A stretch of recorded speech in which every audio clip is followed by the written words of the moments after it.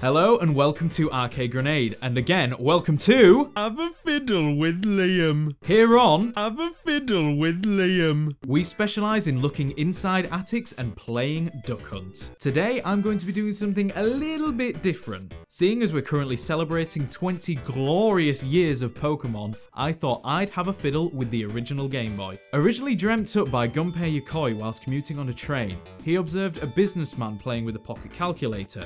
Thus, the Game & Watch was born. After fantastic sales boosted the Game & Watch, he decided he wanted a handheld game console with interchangeable cartridges. The interesting thing about Nintendo is that they have always managed to be successful with their consoles, even though they were using old technology.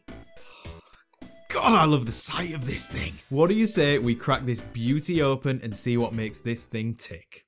If we strip the Game Boy down, you'll notice there isn't a lot to it. The majority of the space is taken up by the battery compartment and the cartridge slot. Looking at the teeny motherboard, you'll notice that Dot Matrix Game is imprinted on the board.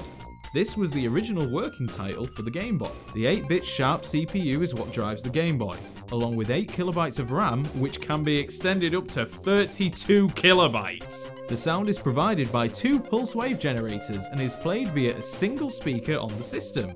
However, plugging headphones into the 3.5mm jack will allow the Game Boy to output in stereo.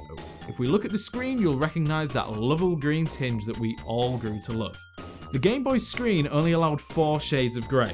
The green and black screen allowed the batteries to last a whopping 30 hours, which was amazing compared to the Game Gear's poor 5 hours. The screen managed a smooth 59.7 frames per second, which when plugged into the Super Game Boy boosted this up to 61.1. Whilst we're on subject, did you know that the Super Game Boy was pretty much a Game Boy minus the screen and the battery compartment? The original SNES couldn't actually emulate Game Boy games that well, so they just stripped a Game Boy down and threw it in a cartridge. Pretty cool, eh? The Game Boy saw a few changes in its lifetime.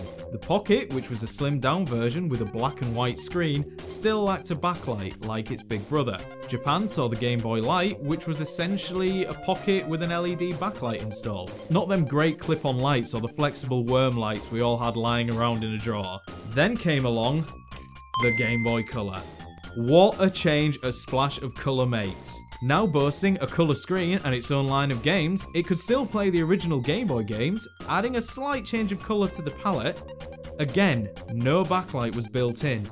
Nintendo were obsessed with keeping the Game Boy's battery life as high as possible whilst keeping it cheap to make and buy too. All in all, the Game Boy and its various relations have sold an eye-watering 118 million units worldwide. This thing absolutely trounced its competitors, the Sega Game Gear and the Atari Lynx, and went on to leave a staggering impression on the handheld console market that companies such as Sony dreams of obtaining to this day. I'll always fondly remember grabbing my Game Boy before embarking on long car journeys with my parents and playing Pokemon Blue until the sunset. Then attempting to play whilst driving home at night and catching a glimpse of the screen in streetlights as we drove past. We love you, Game Boy. Thank you for being so special to us and seeing us through our childhood. Thank you very much for watching my tech breakdown of the Nintendo Game Boy. Do you have any suggestions of anything you'd like me to break down next? Leave a comment below, and most importantly, don't forget to like and subscribe. We will see you in the next video.